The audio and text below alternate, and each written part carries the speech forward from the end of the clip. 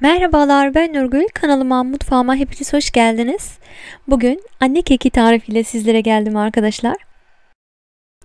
Hepimizin çocukluğunda annelerimizin yaptığı e, damaklarımızda lezzetini unutamadığımız anne kek tarifleri vardır.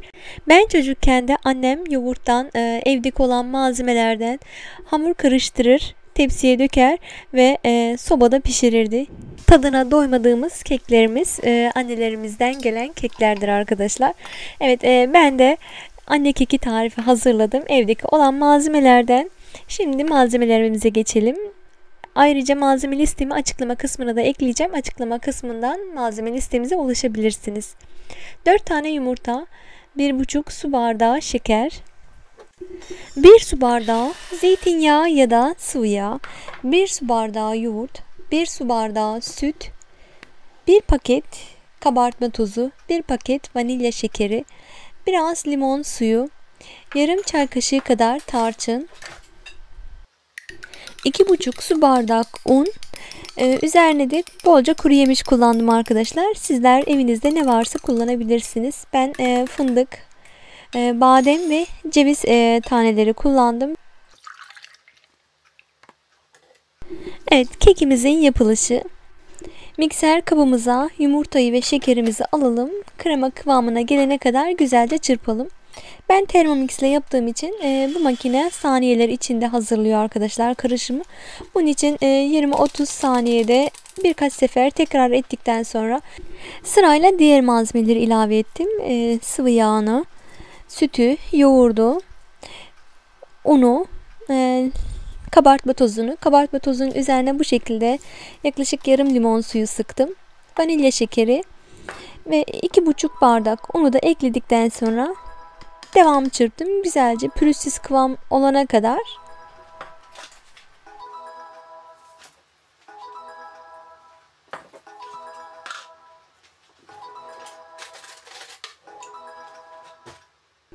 Ve yarım çay kaşığı kadar da tarçın ilave ettim arkadaşlar. Müthiş lezzet veriyor tarçında.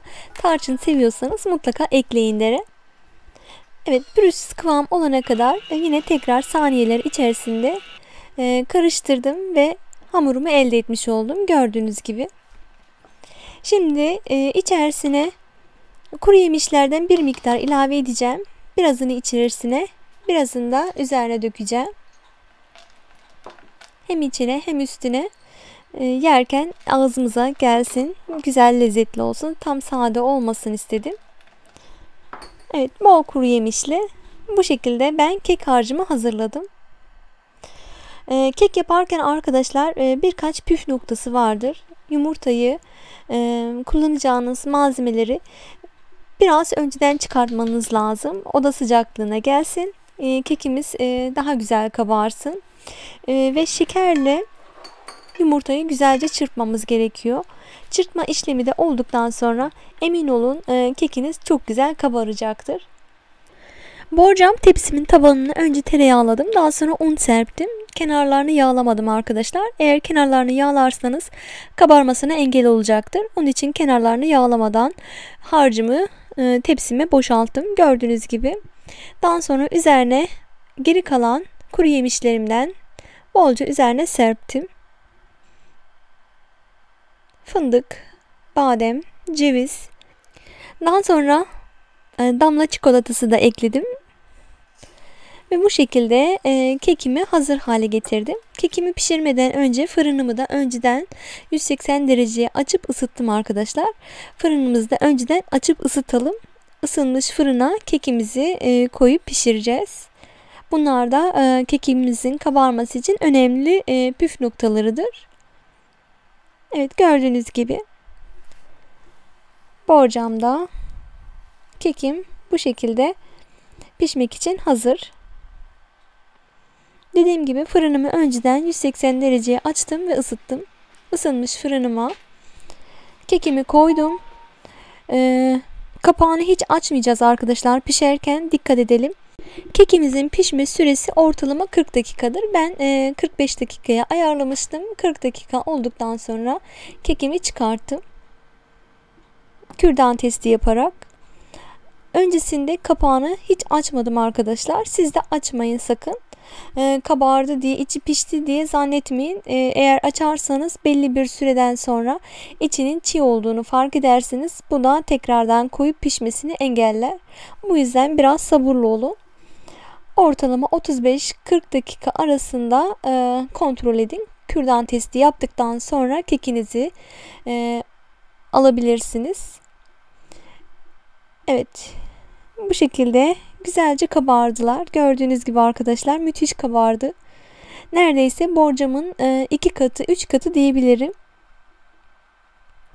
Eğer kalıbımız daha bir yüksek olsaydı çok güzel kabaracaktı.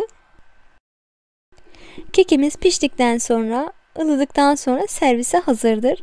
E, kuru bir e, kek olduğu için yanına meyvelerle, e, çikolata soslarıyla ya da meyve sosuyla servis yapabilirsiniz. E, değişik sunumlar yapabilirsiniz.